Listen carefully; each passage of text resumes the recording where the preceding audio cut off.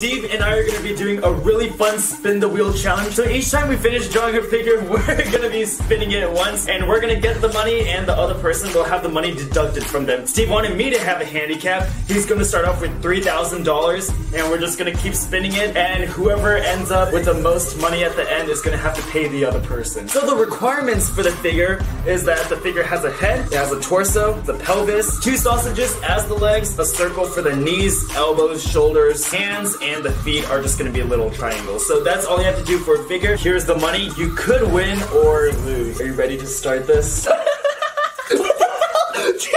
what are you doing? Stop! Right. Three, two, one, go. Oh, jeez. How much have you drawn so far? Yeah. I can't let you win. I'm done. You're done? Oh my goodness! Alright, time to Okay, spin it hard.